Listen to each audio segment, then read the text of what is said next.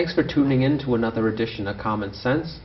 Um, I have with me today Michael Zarrella. Michael's running for councilor at large here in the city of Brockton. Mike, thanks for coming in, buddy. Thank you, Tom. Thank you for having me. No problem. Um, so, what do you think of uh, what do you think of running for public office? It's been an experience so far. Um, I've enjoyed almost every minute of it. It's been long days. You know, I, I work a regular job, 40 hours a week. I come home, I have my family, and being out campaigning every day and returning calls and emails and making sure my schedule's on point. It's definitely been trying, but it's also a great experience, and I wouldn't change anything. Well, um, one thing when you do a show like this, you get to meet interesting people, and um, I know uh, you know you told me that uh, you work for the corrections department and you're over at Cedar Junction. Um, I'd like to do a show not about you running for office, but about what goes on with your job and uh, what happens up there. But uh, we're not here for that. But uh, that's the one good thing. You meet so many interesting people, and um, you certainly have uh, some life experience that I'm sure a lot of people would be interested in. Um, what um, what causes you to run and choosing uh, to run for councilor at large? Well, I've always thought about getting involved in politics. That's always been something I've been interested in. And growing up in the city, I've seen a lot of things go on over the years. And now, being a homeowner and having my family here, I'm invested in even more. And, you know, there's a lot of things that need change, a lot of things that need help.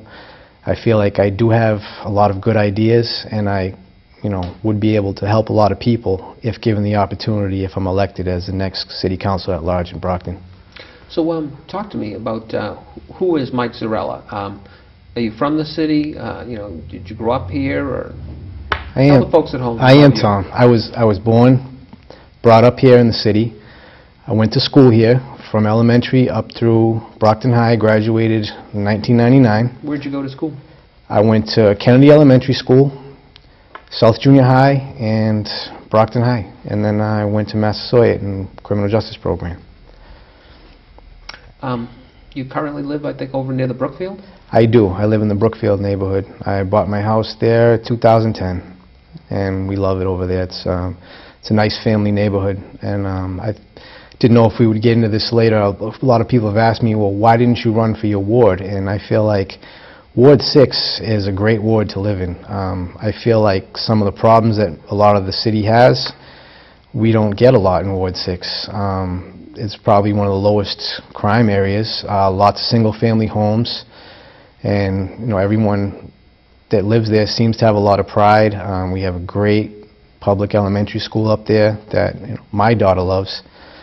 Uh, what grade is your daughter? Um, She's in second grade, Tom, and You've had a good experience so far? we couldn't be happier with the school system up there. Um, uh, the principal, Mrs. Uh, Val- Valerie Brower, is Yep. a wonderful woman, um, and I know she cares a lot about the kids up at the school, and she runs a tight ship. yeah, she does. She definitely does. Yeah. Um, it is a nice. It's a nice, clean school. I've been up there, you know, for different things, and it's uh, it's a nice community, like you said, sort of like a, you know, a, any suburban bedroom community. You know, people just doing, you know, going about business. Um, I'm a little familiar with Brookfield. I played Brookfield Little League as a kid. Um, uh, you know, up at the Rodney Street Parks, and uh, there was a senior league field sort of over the hill beyond the Rodney Street Parks. Yes. And uh, we started off Little League right there at the you know, down John Drive, right there at the Brookfield School itself. That's where we started off with, you know, minor league and uh, and um, you know just little league itself. But uh, yeah, it's great. It's a great area, and um, you obviously, you know, you're a member of the community and you're motivated to run. So that's great. Um, it's a big field, obviously. Um, so what would you say um, sets you apart? What do you think uh, you know you bring to the uh, community that uh, people need to know about? Well, first off, as Tom mentioned, I do work for the Massachusetts Department of Correction at MCI Cedar Junction. So And you know how to deal with people. I do know how to deal with people. You have That's to know how to deal definitely with one of my strengths. And also growing up, I really kept a diverse group of friends, and that helped me in life learn people skills, learn from different people and different cultures.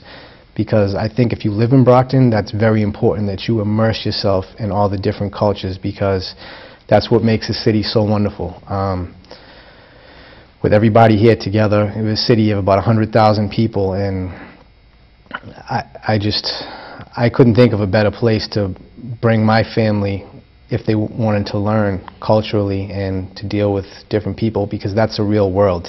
If you go out in the real world, into the workforce, it's diverse, and you want to give your children that experience of growing up in a diverse community. I think that's important. Well, I think it provides them with balance, you know, they uh, exposed to different people and different uh, uh, ethnicities and, uh, you know, realize that there are differences and you have mutual respect for people and you learn a little bit about each other, you know, so it's definitely unique and, like you said, a good thing about growing up in Brockton. Um, What, um, what do you uh, talk to about, uh, talk to uh, on the campaign trail with the, um, with the voters? What, what are their interests? What, uh, what are their concerns? What uh, issues do you, um, you know, basically hear from, from the voter? One of the main things, probably the question on everybody's mind, is what are you going to do about the crime? And, you know, I start to tell them a little bit my background, and that gives people, I think, a little bit more faith in me that I might be able to understand the criminal justice system, the ins and outs of it, how it works, understanding how criminals operate. That's all something I've been interested in growing up.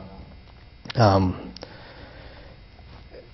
you know, What I, do you think's going on here? What, what do you think, what do you think's happening and what do you think we need to do? Well, the murder rate and the crime in general, I don't think it's gotten any better. I mean, I remember grow, as growing up as a teenager, it was almost the same way it is now. It hasn't gotten any better um, 20 years later, and that's that's appalling to me. Um, so the city needs help, and I know you can't blame that all on the mayor. You can't blame it on the police force.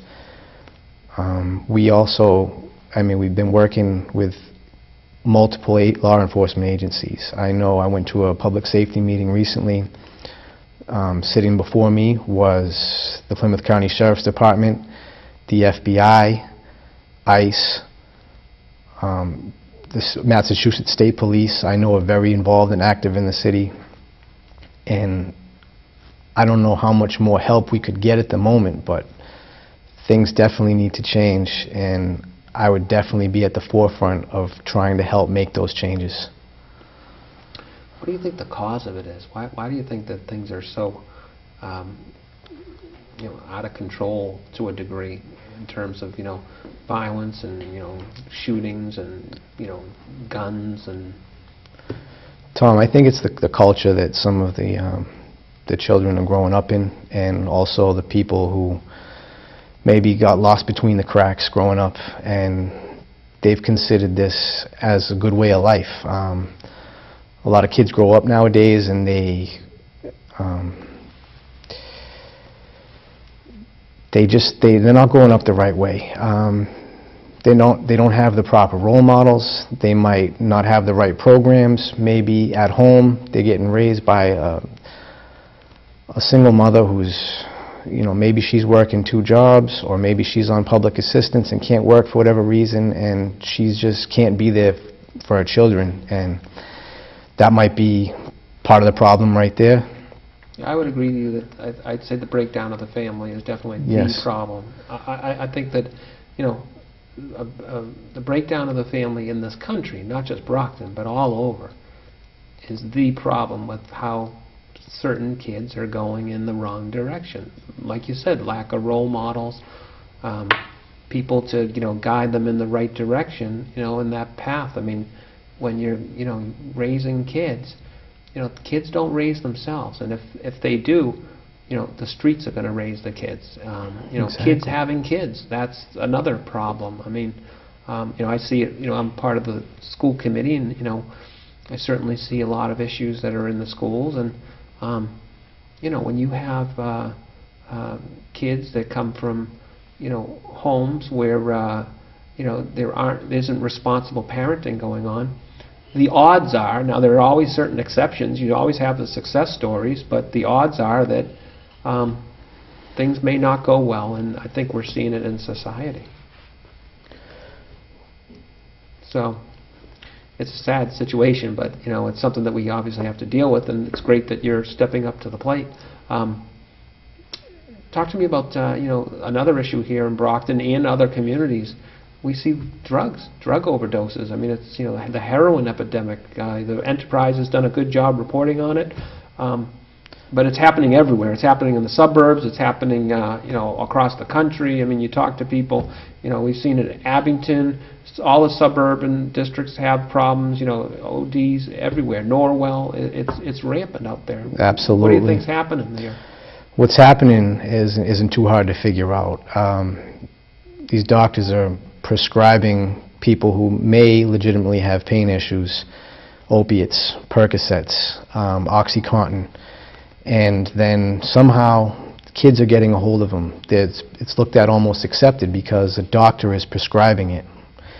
And they start using these opiates, these OxyContins, um, Percocet, and then they're getting hooked on that. They can't afford it at the street level anymore. They're paying whatever 30, 40, up to 80 dollars per, per for a pill, and then they're turning over to um, to heroin because they can get that much cheaper for five dollars. Now, the heroin that's on the street is being laced with all types of different chemicals. Um, recently, fentanyl has been one of the biggest ones that's been causing a lot of these overdoses with these kids.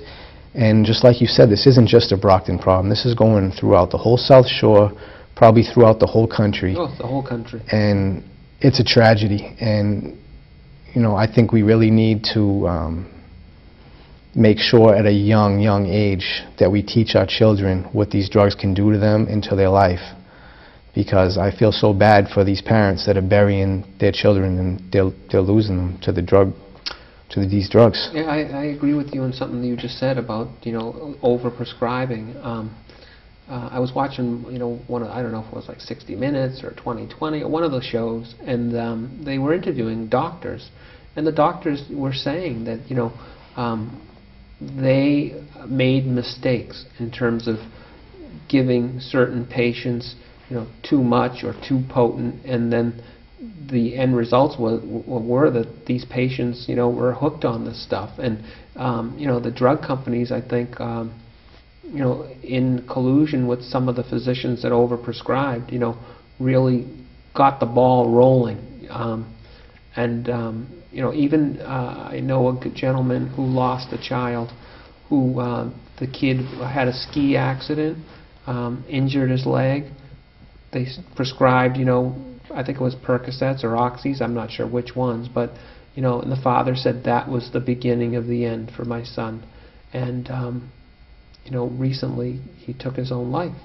Um, horrible, just horrible. A nice family from a wealthy suburban uh, community, um, and you know they're all in mourning over it. You know, sick over it. So it's it's a it's a horrible problem. But I think the medical profession and the pharmaceutical community um, have some responsibility in this. That got the ball rolling uh, to to a large extent. You know and and people need to wake up. I think, and you know, it's good that someone like yourself, who has this experience with uh, these issues, is, is running for office. Um, we also have a lot of other stuff going on in Brockton. Um, what are some of the other issues that uh, you see, and what's your position on them uh, here in the city of Champions? One is the homelessness um, right across the street from this studio, Tom. Unfortunately, uh, we have the main spring house. We have a park that's right next to the main spring house where a lot of the residents um, that stay at the main spring house tend to frequent during the day among with many other people. And that also, which is also a citywide problem, causes urban blight. And it's very, it's a tough situation because these people are desperate. They need a place to go. But I feel like Brockton is the dumping ground for the whole South Shore, south of Boston, for everyone who's down and out, who's homeless, who's drug addicted. This cannot be the only place where these people can be sent to get the social services and the help that they need to try to get back on their feet because it's becoming a huge burden on Brockton as a whole and we cannot keep absorbing this. It, that is detrimental to Brockton thriving again. And we need to find out some other programs, maybe have some of these other towns taking some of the burden away from us. You have to wonder, I mean, there's some, actually some nice development going on here in downtown Brockton, but you do have to ask the question, um, you know, with uh, the issues you just raised, uh, will it have a negative impact on, you know, sales of, uh, you know, these condominium units uh, being developed, you know, in the old Enterprise building and the buildings across from WB Mason? Um, I mean, they're, it's right around the corner from each other, you know? These, um, I, you know, I was very happy to see that the state was, were giving grants and Brockton was able to renovate the station lofts and get the construction project off the ground for the Enterprise block. And it's, like I drove by there today and it's, it looks like you're driving down a street in downtown Boston. It looks beautiful on the Enterprise block. You have WB Mason on one side and this brand new building on the other side. And, but right across the street from that, close to the Dunkin' Donuts and right next to our Brockton train station is a methadone clinic where early in the morning you have people lingering about and, you know, waiting to get their medicine. Um, my experience with that is they're being given Suboxone to try to wean them off of the heroin. And I see this firsthand. I see criminals, they come to my facility and they're dope sick. They're, um, they're put on detox for days at a time and they've gone to measures of trying to smuggle in these Suboxone strips, it's almost like a Listerine strip, and they're bringing them into the prison. Now these people, this giving How them... do they get them in? They, um, how do they get them in? Um, they're, a lot of times, these are people who are not held in the county jails. They're swallowing it, knowing they're going to be sentenced, and then they go into prison. And then using the bathroom a few days later, Hmm. that's when they can produce these drugs sad. into Hmm. the institution. And like I said, my experience with this is I know that this, this Suboxone, this, this clinic, maybe the state feels like they need it because they need to do something for these people, but it's not curing them. It's just keeping them from being sick. And some people are using it just because they can't get to, you know, the actual heroin or any other opiates. They're just using it to, you know, try to wean them off or until they can get their hands on something better. Well, I certainly agree. Brockton seems to be getting uh, more than its fair share of all of the, um, uh, you know, social issues that uh, plague the state. I mean, so I, I think there should be a more fair distribution of, you know, these types of um, services that uh, obviously are needed, but um, I, I, I would agree that it's not right that, you know, Brockton, you know, bears 99% of everything on the South Shore, for God's sakes. you It's know? not right. It's, it's not. And And you have to wonder, though, um, despite all that, Brockton's a great place. You have to admit, Brockton is, you know, we've got so much, there's so much good in Brockton. There's so many good people in Brockton. Uh, i i it's amazing, you know. But again, you want things to go in the right direction, and you know, people are obviously concerned with, you know, the issue of crime, like you mentioned. there is. And I I feel like we've lost tons of good families, people that were just fed up with Brockton. We're losing them to the Bridgewaters, to Easton, Abington, all the surrounding towns. They're driving farther for work. They uh, to towns that maybe don't even have commuter rail. They're giving up on this because they don't want to be in this environment. They don't want to expose their children to it. So if they can, they move out. And you know, we can't keep affording to lose all these good families. I want to attract more good families to take a chance on Brockton, move into the city, but I don't think that's possible until we clean up some of the crime and some of the drugs that's prevalent in the city. Um, What, uh, what are some of the things that- positive that you'd like to, um, obviously, you know, dealing with the crime issue is is a positive, but uh, what are some of the, um, you know, things that you think that uh, need to happen in Brockton um, to attract business or to attract, um, you know, more investment uh, to to help out the city and and bring in positives? Um, Definitely, I I like what's going on with the revi- revitalization downtown that we were speaking about, but we also need to attract businesses that are willing to come in and take a chance on downtown, and we also need the people to support them, to support these businesses that have disposable income, that are willing to go out, that they feel safe going out after the sun goes down and after the courthouse is closed for the day. Um, Well, I think one of the issues with downtown, and it's been, you know, discussed over and over again, is, you know, Main Street's a one-way street. You know, quite frankly, it's a pain in the butt to navigate down there, and, you know, the parking is limited, and then, you know, you- people don't feel like getting a parking ticket, and, I mean, so, and, and then again, you want to make sure, you know, people are safe, you know, with uh, some of the characters uh, once in a while that are strolling downtown. I mean, you know, i- i- if your wife is taking, you know, you said you had a three-year-old and a seven-year-old? Yes, You know. Your three, your wife's Yes. taking your three-year-old and seven-year-old out of the car. Mhm. Uh, You want to make sure she's safe, you know, if she's going to frequent a store down there or something. And, um, you know, it it just needs to be more user-friendly to the average consumer. You know, whereas the mall, you know, you show up at the mall, you get plenty of parking, um, you know, they have mall security strolling around the mall. Yes. mean, not to say nothing can happen, but, Yeah.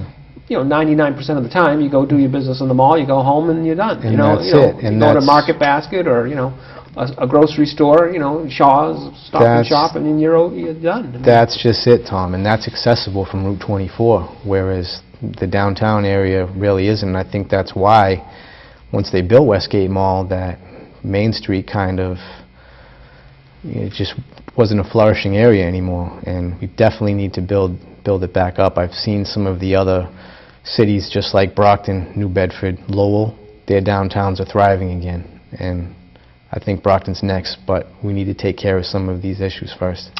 Yeah, and you gotta make, I think the planning in terms of traffic flow and parking and those types of issues need to be ironed out so that people don't feel like it's a hassle, you know, more of a hassle to go down there. Yes. And to get caught down there and, you know, it's like, uh, um, whereas it's just easier to park at a store that has plenty of parking. Um, you know, whether it's the east side or the west side, I mean, um, you know, I grew up over in the Ashfield area, and you know, Fernandes Market was down um, on the east side, near, uh, you know, across the street from what's now Home Depot, you know, and my mom always used to, you know, go there, and the city's changed. I mean, you know, there was the the Maple Alleys was Yes. there. We used to hang out there. There was the the movie theater, um, you know, next to Christo's, you know. Yeah, that was my first real job. I worked in Brockton East Cinema. I was Right. 15 years Loved old. it. I mean, yeah. yeah, the movies were like sort of second run or whatever Yes. it was, but it was still awesome. It was great, you know. And then you'd walk over to Friendlies at the corner or Papa Gino's, you know. I mean, Brockton was great. I loved wa- I loved was. growing up here in Brockton. There was always something to do. You go to Maple Alleys, you know. We had three movie theaters in the city when I was growing up. Now there's zero. Yeah, we had what Loews Cinema back We of uh, Loews. Frank's. You know, you had the the mall and the you had mall. East Side Cinema. Exactly. And then you know you had two bowling alleys. You had you know Westgate Lanes and you had uh, Maple Alleys. I mean, it was great. Mm-hmm. You know, things are changing, and hopefully, uh, uh, you know, we're going to get on the right track because there's a lot of good people out there that uh, want to put in the effort. You know, um, like yourself. So, um, what are other issues that you see out here in the, the city? You know, we've got the power plant, we've got um, the casino, we, you know, we got it all in Brockton. You know, we've got plenty of stuff to talk about. There is. There definitely is. Um, as far as the power plant, I'm not for it. A lot of the people that I've talked to, the more I've educated myself on it, I just don't see where it fits into bettering Brockton. Um, what I heard that it's only going to produce five jobs, so it's not going to produce any jobs. Um, it's not going to power Brockton. One of the things that I think is a major flaw is that unlike, you know, TMLP down in Taunton, where they have some of the best rates of electricity mm-hmm. for that community because it's a local power plant. Yes. You know, I I think that there would have been more support if some degree of the power were going to help was going to help out the local community and people were going to see a direct benefit to their electric bills or you know I mean I think so. the local And- component so to speak you And know I I believe that, you know, just as the casino was put to a vote, even though it passed by such a slim margin, that the power plant should have been put to a vote. Um, But, you know, the city's been... Democracy. The city's been fighting this for years, and I'm surprised that we're even still talking about it. Um, the people don't want it, so it just it shouldn't get built. Um, I just don't don't see where it would benefit Brockton. And you know, health issues. I wouldn't want my children if I, I don't live in that area, but I do know many people, many good families who live down there, and no one that I've talked to thinks it's a good idea. So why bring that into our city with all the health risks? Um, it's not creating any jobs. It's going to be diesel powered, which would need a police escort. You're taking away uh, public safety, which needs to be out on the street, not escorting a diesel truck back and forth.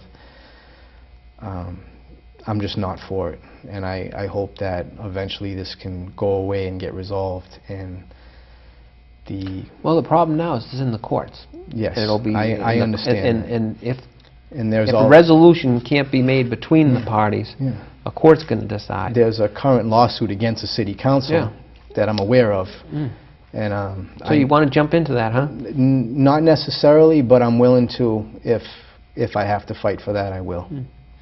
Um, you know, the, the, the, the worst thing that obviously could happen to Brockton is if somehow the courts say that uh, the city's liable for all of the costs because of uh, the actions of the city uh, in preventing this thing from going forth causes a huge liability. I mean, so that's something that obviously uh, the mayor and the council need to assess in this whole thing. I mean, that's a major factor. You know, whether the city wants it or not, you know, the court could decide and, and will eventually decide what the city is going to get. You know, and we've seen that so much with respect to, you know, courts today deciding decisions that affect the lives of so many people. You know, whether whether it be you know health care, the Supreme Court basically said Obamacare is passes the sniff test to the Supreme Court. Uh, you know, um, we'll see what the courts do with it. You know, but the problem is if the court nails Brockton because they say, oh, you treated this power plant unfairly, you caused them to spend all this money, you never should have held them up. It was what they tried to do was whether you wanted it or not. It was a legal business, and they had every right, the way the Brockton was zoned, to apply to get this. You know, so we'll see what the courts do. I mean, that's Yeah. that's something that needs to be, um, I guess, assessed by all parties. You know. Definitely. So, um, I know we always have fun here on my show, but uh, we're getting actually close to two minutes. Can you believe that almost a half an hour has gone by? Mm, It's, it's, It- yes. it just I can- flows. It Yeah, just flo- I can. Um, so, um, in these last two minutes, um, you know, please tell you know the people what you really want them to know about you and what you uh, hope to achieve. And uh, you know, I'm so glad that you were able to come in. Okay. Um, well, like I said, Tom, thank you for having me on the show. It's been a pleasure meeting you and talking with you these this last half an hour. And to all the voters out there, my name is Michael A. Zarrella, and I am running for City Council at large. I come before you today because I want your vote. I want to fight for you and your family. I want to move Brockton forward in the best way possible. I am making sure that this will become a better place. And if I can't do that, then don't give me the chance. Vote me out again in two years. But for these next two years, I will work so hard for you guys. I will make sure that whatever I am needed for, I will be there. Call me. My phone number is 508 345 8318. You can contact me anytime. I'm on Facebook, facebook.com backslash fighting for Brockton. I will be number six on the ballot. Please don't forget to vote September 22nd. Michael A. Zarrella, number six. Thank you. Well, I'm glad you came in. I hope uh, I hope you felt comfortable with uh, with uh, speaking. You did a great job, I would say, and um, I uh, wish you luck. You certainly um, committed and you know earnest about your intention, and uh, you know certainly I can tell you want to do what's best for Brockton.